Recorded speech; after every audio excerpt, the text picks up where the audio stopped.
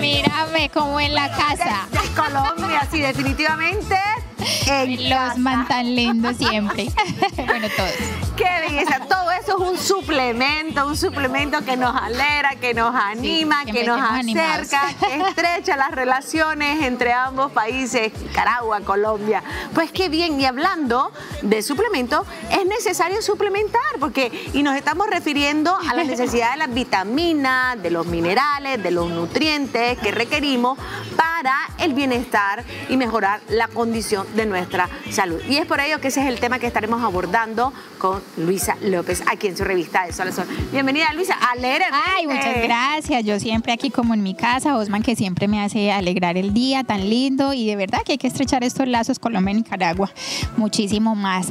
Pues sí, ahí hoy vamos a hablar de la suplementación. Me pareció un tema interesante porque creo que ahorita hay un abuso de la automedicación. Entonces me empiezo a sentir mal, ay, qué vitamina tomara, o mi amiga le funcionó, mi mamá me recomendó. Entonces, el tema que traigo hoy es necesario que suplementemos, cuándo realmente debemos hacer esa suplementación de alimentos, Eh, porque a ver, eh, nosotros a través de los alimentos que consumimos aportamos nutrientes a nuestra dieta. Entonces los nutrientes pueden ser las vitaminas, pueden ser los minerales, pueden ser la grasa, las proteínas, los carbohidratos. Básicamente la suplementación se hace de vitaminas y de minerales. Entonces hoy vamos a ver en qué ocasiones debemos realmente hacer esas suplementaciones cuando nuestra alimentación realmente no es suficiente y ya estamos empezando a presentar algunos síntomas. Una buena nutrición entonces es clave para la salud. Eso es muy importante ahí, o sea, todo debemos intentar, siempre como nutricionista, por ejemplo, que soy y, en nuestras escuelas de nutrición, siempre nos inculcan, la idea es que manejemos todo con los alimentos, lo que podamos hacer con los alimentos siempre, pero hay situaciones en las que eso no puede ser así, entonces hay que suplementarlo, pero son situaciones específicas que deben estar acompañadas siempre de un profesional. Segundo, nosotros debemos aportar eh, esos alimentos, de esos nutrientes, perdón, de nuestra dieta, pero hay que tener una cosa en cuenta y es que cuando hay excesos también es peligroso. Entonces por eso ahí dejamos esto aquí sobre la mesa, ahorita lo vamos a volver a retomar, porque no es solamente que haya una carencia de un nutriente, es que también puede haber un exceso y los excesos también pueden ser perjudiciales en nuestro organismo. Por último, y antes había esa creencia de que las carencias de nutrientes solamente se presentaban en, en poblaciones pobres, vulnerables, pero no. Ahorita en todos los estratos socioeconómicos nos estamos encontrando carencias de nutrientes. ¿Por qué? Porque nuestra dieta ha cambiado mucho. Nos alimentamos a base de alimentos ultraprocesados, comemos menos frutas y menos verduras, hacemos menos ejercicio, con lo cual todo eso puede contribuir a que haya una deficiencia de nutrientes en nuestro organismo. Por eso es clave que siempre lo decimos acá en el programa, nuestra alimentación lo más natural posible, aportar vitaminas y minerales a través de las frutas y las verduras, que son los grupos de alimentos que más contienen estos nutrientes. Es importante entonces ese rol que juega el consumo de frutas y verduras, de qué manera entonces están aportando para la salud. clave ahí. son los grupos de alimentos, ya lo hemos dicho acá en el programa en contadas ocasiones. Es- son los grupos de alimentos, frutas y verduras, los que más vitaminas y minerales aportan a nuestro organismo. Entonces, si nosotros, a mí me llega un paciente que no se come nunca una verdura y empieza a tener síntomas, me siento débil, estoy cansado, se me cae el pelo, no sé qué, yo Las podría sospechar, exacto, Sí. las uñas se me quiebran, me duele todo, yo podría sospechar de que hay una deficiencia, pero eso lo vamos a ver un poquito más. más. Y es por ello entender, digamos, la importancia que es la suplementación de los nutrientes. Entonces, básicamente, suplementar es aportar estos nutrientes, ya sea en forma de una pastilla, ya sea en forma de una inyección, estos nutrientes a nuestra eh, alimentación. Y eso es aparte de los alimentos que nosotros nos consumimos. Entonces, por ejemplo, ay, necesito eh, suplementar el hierro porque estoy en déficit. Entonces me da mi pastillita de hierro, yo me la tomo y suplemento. Entonces es eh, aportar esos nutrientes aparte de mis alimentos para eh, suplir esas necesidades que yo tengo. Eso es básicamente. ¿Y cuándo podemos identificar, o sea, doctora, eh, o es clave, digamos, suplementar? Bueno, entonces podríamos decir, listo, tengo una dieta que no es variada. Sí. No como suficientes frutas y suficientes verduras. Segundo, tengo una enfermedad, ¿cierto? Porque hay enfermedades que pueden generar a su vez carencia de nutrientes Sí. también.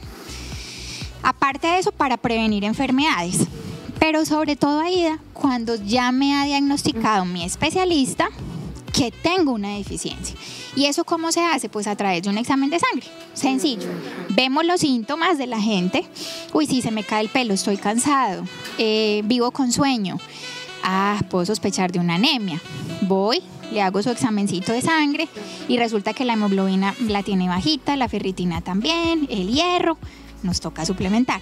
Pero ya lo vimos en el examen clínico, ya vimos los síntomas en la persona, ya sabemos qué hacer concretamente con ese paciente. Entonces, por eso es muy importante que no nos recomendemos. Así sea muy de confianza, puede que ese suplemento que tú utilizaste te venga bien a ti. Pero no, excelente. Tenemos algunos ejemplos entonces de lo que es la suplementación para que podamos. Por ejemplo, el hierro, que ya lo, lo mencionamos. Eh, la deficiencia de calcio. Entonces ahí me duelen las articulaciones, me duelen los huesos, me caí y me fracturé en tres pedazos. Podríamos sospechar de que hay una osteoporosis, entonces tendríamos que suplementar calcio, vitamina D que nos ayuda. Eh, por ejemplo, vivo enfermo, me dan todas las gripas del mundo, puede que mi zinc esté bajito, ¿cierto?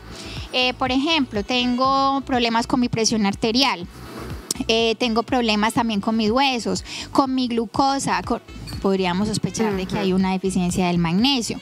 Y así, con el yodo, si tengo alguna deficiencia, por ejemplo, en el, en, el tema de la tiroides, hay vitaminas del complejo B. Entonces me siento que me dan muchos calambres, que me siento agotado, que no me siento con energía.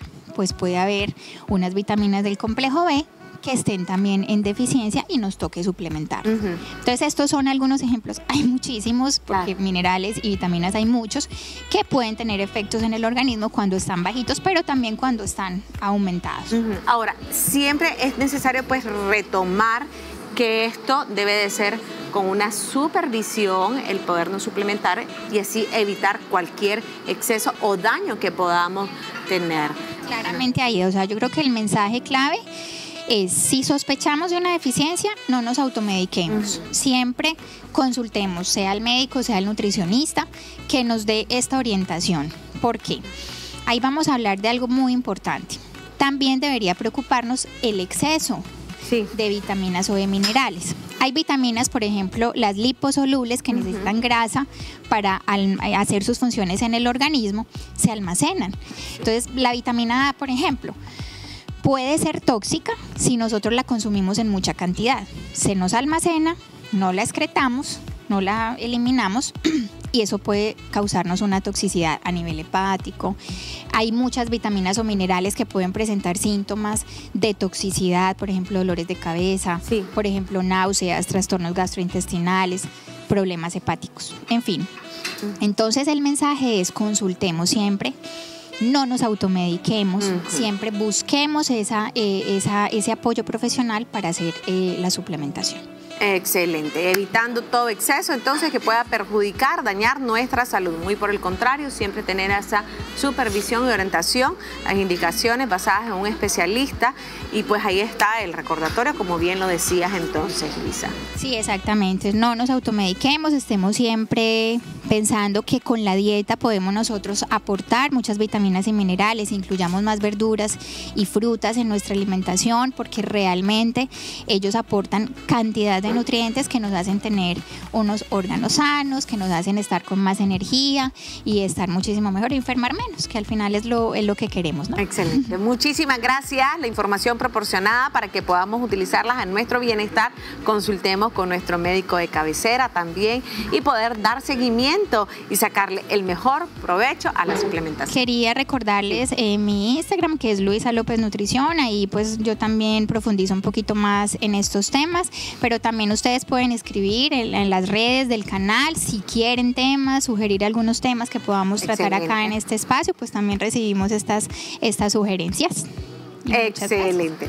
Muchísimas gracias también a nuestra apreciada Luisa López, por supuesto.